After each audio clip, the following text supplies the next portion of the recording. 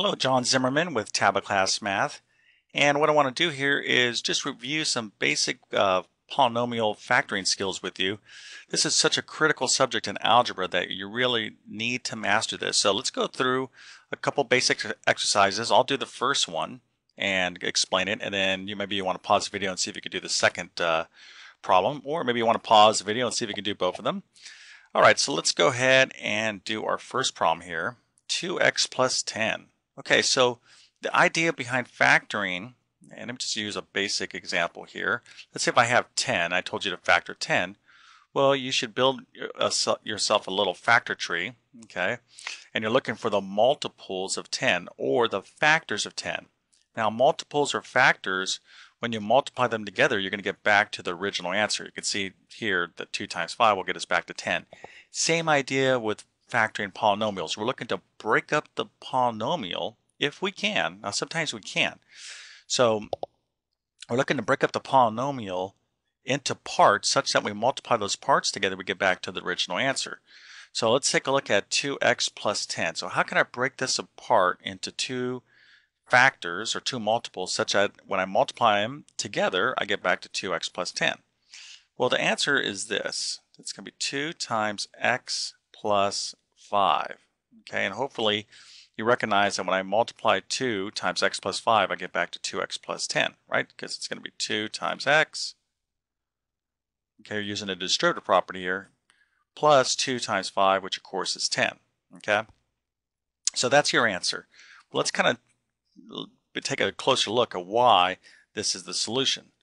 So anytime you're factoring, you're looking for opportunities to factor out common multiples amongst these terms. So when, I, when I'm looking at 2x, the multiples or the factors of 2x are 2 times x, okay? And then the factors of 10 would be 2 times 5. So you can see here that I have a common factor of 2, okay? So anytime you have a common factor amongst terms, you can pull it out. Can you do that using um, a grouping of parentheses, just as I did here. So what's left? Okay, well when I factored out the 2, and I factored out the 2 from both terms, I'm left with an x, and I'm left with the 5, and that's what's inside your parentheses. Okay, see how that works? Because 2 times x will give me back to 2x, and 2 times 5 gets me back to 10.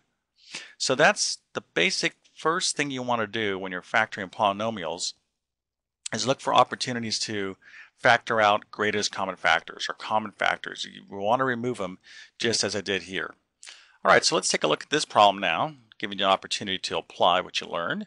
So we have 3y minus 9. All right, so my first question to you, are there any common factors amongst 3y and 9? Okay, and this problem is very similar to the first one I just showed you.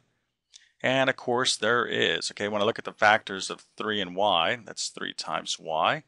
And the factors of 9 are 3 times 3. So I can factor out of 3. Okay, let's put that right here. Put a pair of parentheses like so.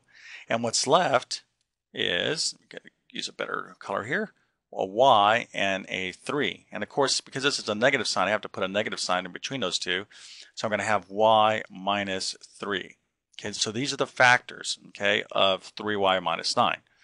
So if your teacher says factor 3y minus 9, you're going to write 3 times y minus 3, okay, because 3 times y is 3y, and then 3 times this 3 here is going to be 9, or negative 9.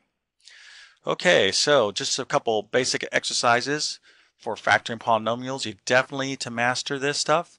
And um, stay tuned. You either follow me on YouTube or come to tabletclass.com and take a free trial. But uh, I'm here to help and have a great day.